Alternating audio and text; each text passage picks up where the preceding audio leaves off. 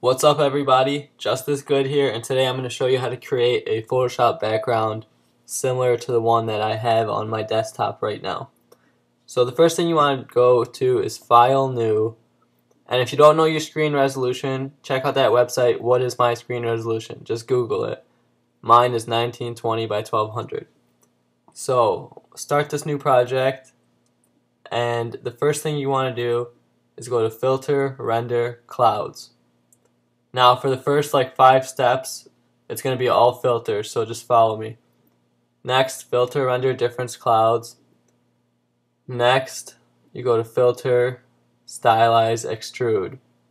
And set it on pyramids, 30 size, 30 depth, random, and that's it. Hit OK. Now go to filter, stylize, find edges. And it should look like this. Next, go to Stylize, Solarize. So now we have this grid tech thing, we can say. Now go to your layer, right click, duplicate, and hit OK, or you can Command J to duplicate. And on this layer, filter, blur, Gaussian blur to about 3 pixels. And go to Sketch, Halftone Pattern. But when you do this, make sure that your colors are set to the default black foreground and the default white background. Once you reach this menu, set the pattern type to circle, leave the size at about 2 or 3, maybe even 1 if you want, and set the contrast to about 9. Again, make sure that it's on black and white. Like so. Okay.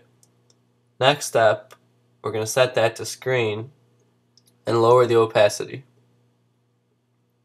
Later on in this tutorial, we're going to come back and adjust these settings to see what looks best. But for now, we're going to continue on with a new layer. Grab your gradient tool, set it to the black and white gradient with the circle, circular setting, and drag out from the middle to the edge. And it's going to look like this. If it doesn't then make sure you have reverse checked on your gradient. And lower the opacity of this to about 76. Make sure it's on multiply. Next, we're going to create a new adjustment layer. We're going to do color balance to add some color. For the midtones, you want to use the color that, that you want your background to be. So I'm going to pull the green up a little bit, maybe a little blue or yellow, pretty much you just want to play around with color balance. What usually looks good in color balance is opposite shadows and highlights and midtones. So you don't want to just boost the green up on everything. You want to have some contrast. And if it's looking too strong, you can lower the opacity on color balance. Next, create a new layer and apply your image. And take that and filter, Gaussian blur it to about 7. I'm set that on screen. Now, if it's looking a little bright still, you can go back to the original duplication and lower it even more to about 25. And just kind of play around with your settings to see what looks best.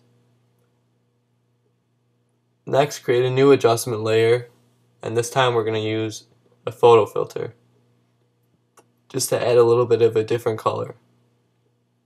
I'm going to use a cooling filter, a little blue. Actually, I'm going to use an underwater filter. And adjust the density to however strong you want the color to look. Preserve luminosity or not preserve luminosity. I'm going to check to not preserve it so that way the whites get taken over and on a new layer, grab your brush tool, grab the first soft brush, and set it to about 20 or so pixels. So what we're going to do with this is head over to the brushes palette. And if you can't see that, it's under window, brush, F5. But it should be on the side there. I'm using CS5. So turn the spacing up all the way under brush tip shape, turn scattering up all the way, and turn shape dynamics size jitter to 100%. So with your settings like these, you want to just slightly brush over the whole thing and make sure you're using I'm going to use white but we're going to turn it to a gray later so if you want you can just use gray so with a gray brush with these settings go through and create this glowing effect so once you're happy with the amount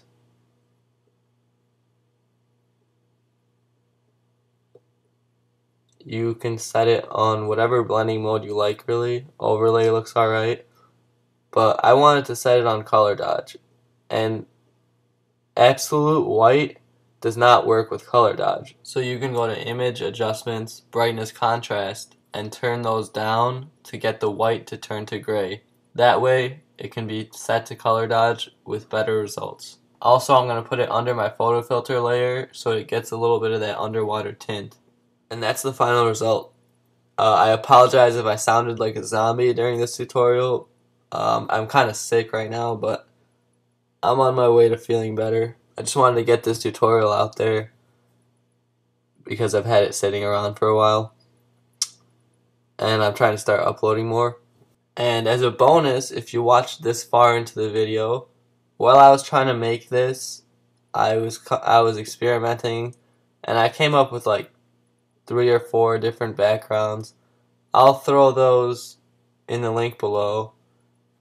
That's these right here. So you could use those for whatever you want, pretty much. Just credit me if you use them. Check out my channel for more tutorials, and I'll see you next time.